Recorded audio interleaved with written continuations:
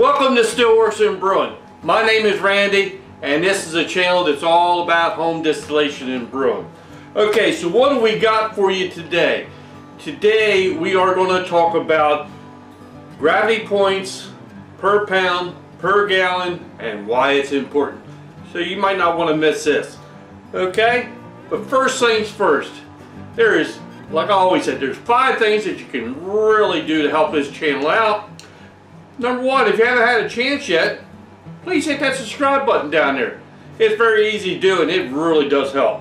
Uh, hit that notification bell so you'll be notified anytime we come out with new content.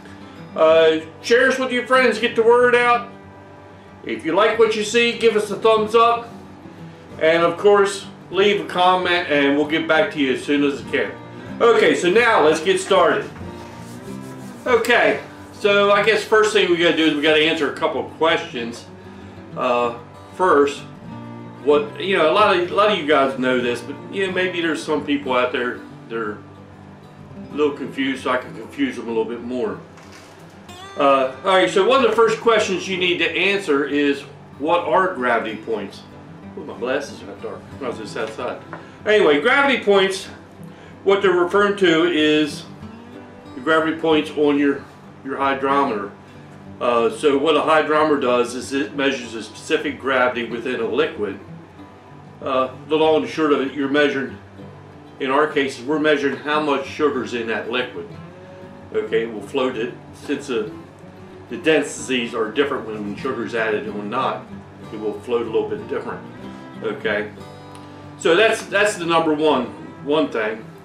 The next thing we come up to is the uh, gravity points per pound per gallon. So what we really need is we need to be able to convert the unit of measures over. I ain't, I ain't sure if I'm saying that right, but we need to have data points.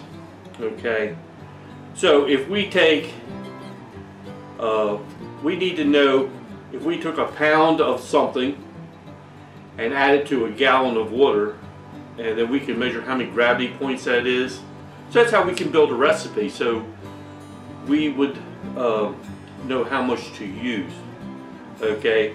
Uh, in our case, or in my case I should say, when I build a recipe I like somewhere between point or 1.075 and 1.090-ish, okay?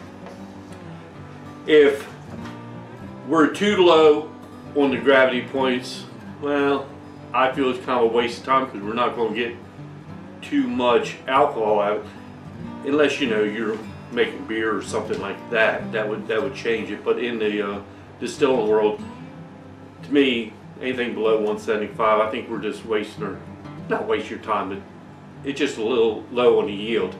Okay, and then if we go above 1.090 or 1.095, uh, we see we start to uh, stress out the yeast a little bit, and it's just getting a little bit too much, I think.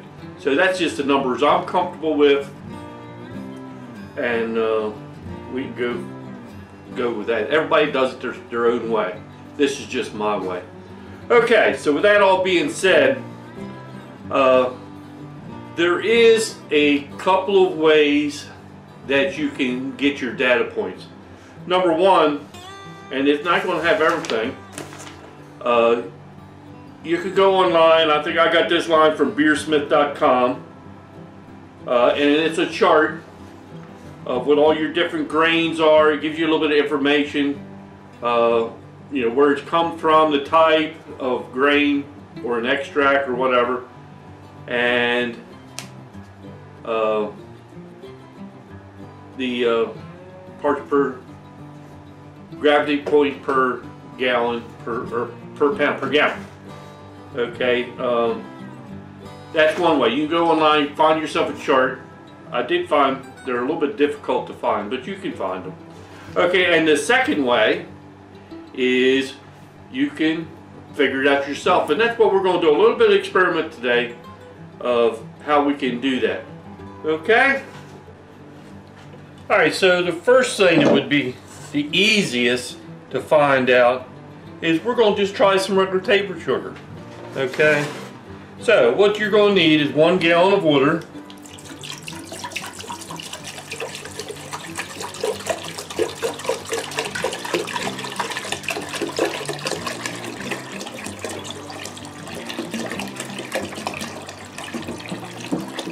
And what we're going to do is dissolve one pound of sugar into that. Okay, so so say we wanted to find out, you could find out anything with any of your sugars, uh, honey, um, uh, brown sugar, light brown sugar, corn sugar, uh, anything that is a processed sugar, you'll find out what your gravity points per pound per gallon. This is the way you would do it. So what, but to dissolve the sugars, we're going to need a little bit of heat. So what we'll do is let's warm this water up a little bit and then we'll dissolve our sugar into it. We'll let it cool for a couple down to a reasonable amount and then we'll test that and see what kind of gravity points we got out of that. Okay, so let me let this warm up a little bit and then we'll mix in some uh, sugar and test this out. Okay? Okay, so it's uh, a little bit more than room temperature, I guess you could call. Actually, not out here, it's a little chilly. Anyway, we'll mix in a little bit of sugar. It's dissolving.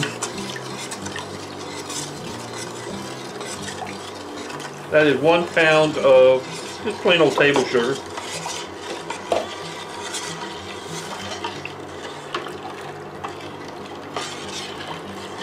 Let that continue to warm up. It should, it'll get clear once it's all dissolved.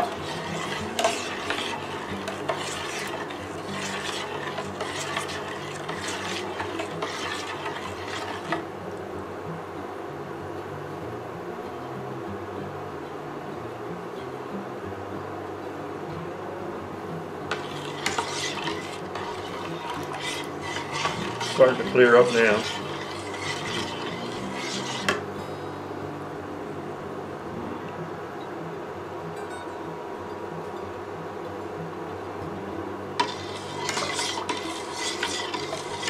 Okay, just about dissolved out. So whatever type of sugar you're putting in there, you know, you use your own judgment.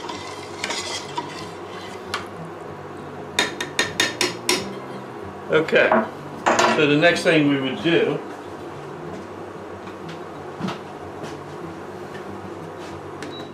is you would uh, fill up your uh, there it is. Couldn't find my phone. So I know I'm gonna make a mess. So we're just going to take a sample of that. Just like you do when you're you're always doing.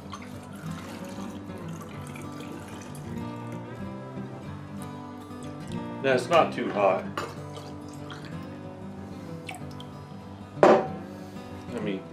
it's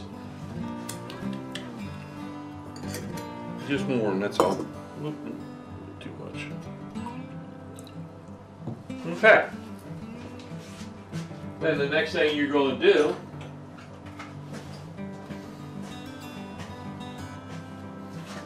let me move.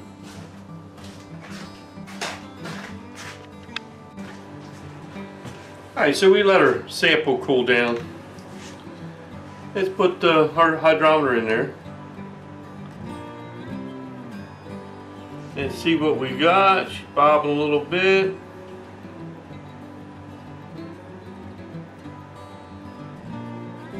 So we're looking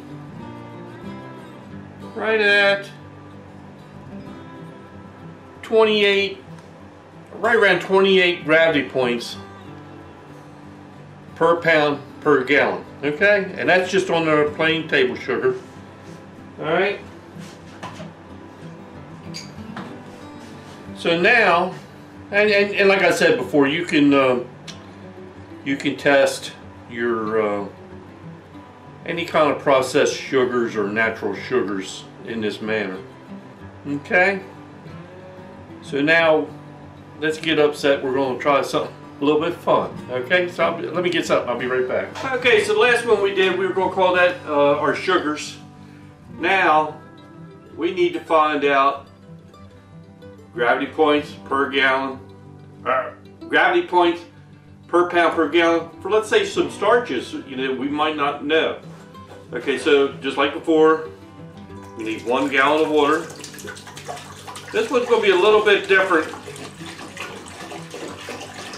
than the sugars, a little bit more involved, I guess.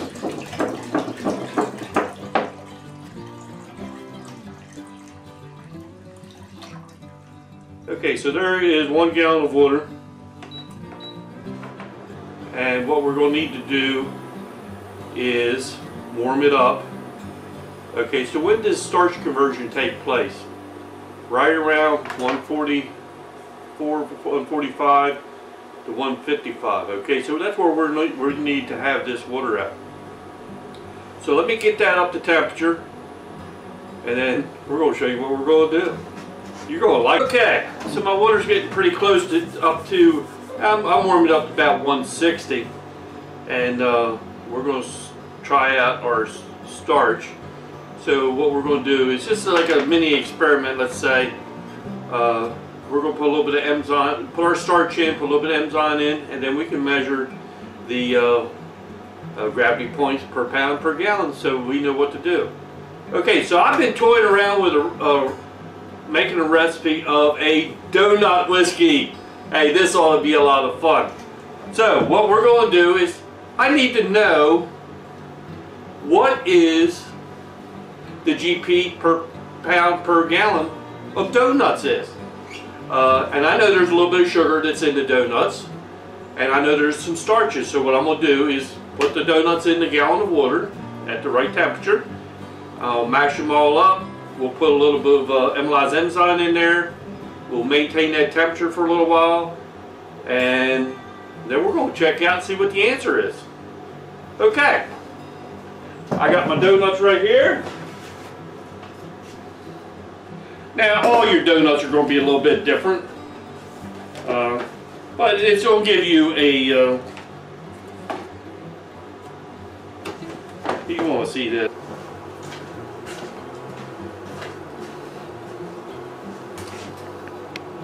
So I got one pound of donuts. And we're going to try to figure out how many donuts do we need to make our donut whiskey? So I'm going to mash these up a little bit. Make donut soup, I guess you could call it.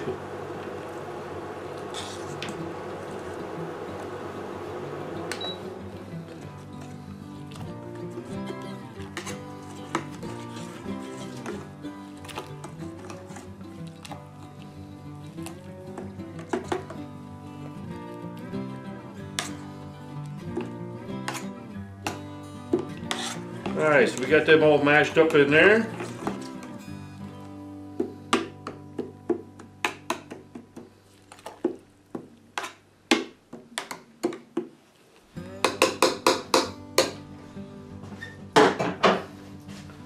Okay, let's double check our temperature.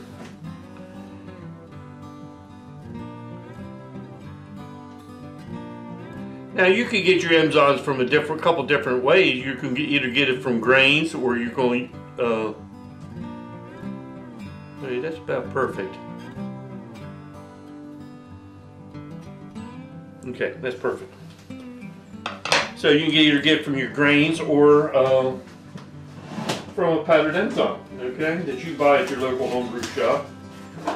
It's always good to have some on hand. So what I'm going to do is I'm going to add half a teaspoon. I mean, and that's that's way overkill.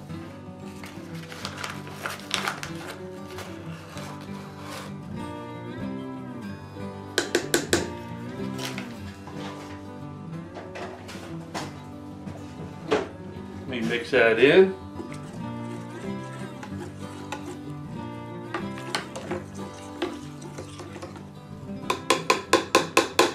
And I'm gonna give it, I don't know, about a half hour or so.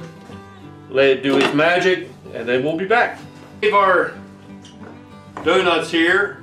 I did give it an hour. Uh, and that's letting it cool down too. So let's put the hydrometer. in. Let's see what we got. I'm sitting right at 30 gravity points. So now we have a data point to go by. So with this in mind, that means we got 30 gra gravity points per pound of donuts per gallon of water. Okay? So now we can figure out if we wanted to make donut whiskey, what would how many donuts we need to get that done. Okay? So let's go to the chalkboard and we're going to figure this out. Okay, this would be actually very easy to figure out. So, if we have 30 gravity points, okay, and our magic number, what we're looking for is 1.090. That's what we want. So, 30 gravity points. So, per gallon, if I times that by 3, that's going to give me 90. Right? So, very simple. Okay, so, every gallon, I'm going to need 3 pounds to equal my 90. Alright, so then you just you just take 3 times 6, because that is what the, uh, the uh, size that I'm going to be in my fermenter. My mash will be a 6 gallon mash. You know, 3 times 6 equals 18. So it's very, very simple. I'm going to need 18 pounds of donuts to make my six gallon mash. Okay? So just as a recap, I got 30 gravity points from my experiment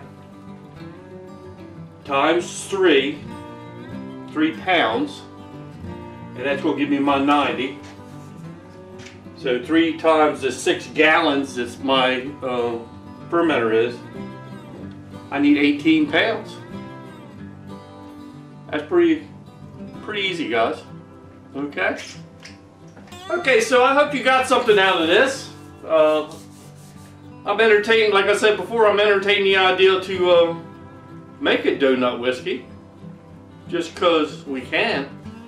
Uh, and we did, we found out the uh, the important data points that we need. Now you can use this method and you know any way anything that you want to ferment. I mean if you got starches in that's the way we do it or the other sugar way.